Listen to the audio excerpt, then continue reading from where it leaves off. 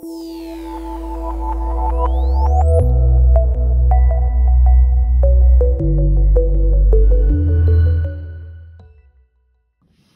aujourd'hui on va vous montrer comment on fait pour configurer l'IS Nomad. Donc après que vous avez reçu le, Nomad dans le carton, vous l'ouvrez, donc le Nomad est livré comme ceci, avec une antenne VHF. Et à l'intérieur, vous avez aussi une antenne Wi-Fi à connecter sur le Nomad. Et en plus de ça, vous avez le manuel. Et les manuels sont aussi téléchargeables en français directement sur digitalyacht.fr.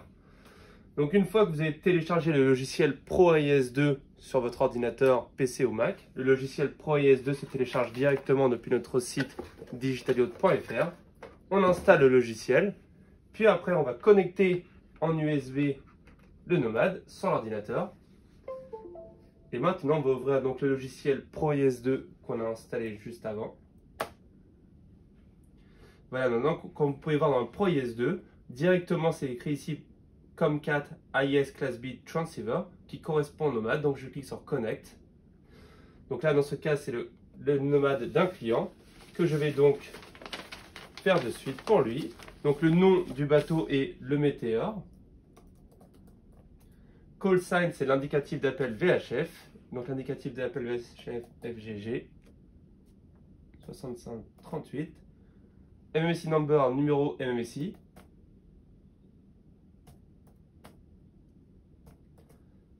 Et après le type de bateau, donc 36 ou 37. Donc le 36 c'est un voilier, 37 petit bateau à moteur. Et après la taille du bateau. Donc pour un bateau d'environ 30-40 pieds, la taille n'a pas vraiment d'importance. C'est plus vraiment pour les IS classe A où la taille est très importante. Hop, donc la taille du bateau. Là c'est pour indiquer aussi qu'il a l'antenne GPS par rapport euh, au bateau. Donc il ne faut pas oublier que dans le MAD, l'antenne GPS est intégrée. Donc une fois qu'on a fait tout ça, on vérifie bien le numéro MSI, parce que le numéro MSI, une fois que c'est enregistré, on ne peut plus le changer. Tout ce qui est sur la droite, on ne touche pas. On clique sur Write Configurations. Là, c'est un message par rapport au client américain, car aux États-Unis, on, ne peut pas configurer soi-même un AIS. On clique sur Programme. Et voilà, maintenant l'AIS Nomad est configuré. Et si vous voulez vérifier que tout est bon, on peut aller dans Diagnostic donc le premier point veut dire que le numéro MMSI est correct. GNSS position fixe, c'est-à-dire que la réception GPS dans ce cas-là n'est pas bonne car là nous sommes au bureau aujourd'hui et dans le bureau à Rouen on n'a pas une bonne réception GPS. Que le nomade a bien transmis sa position, c'est normal que dans ce cas-là le nomade n'a pas transmis sa position car il ne reçoit pas une position GPS on est à l'intérieur du, bateau.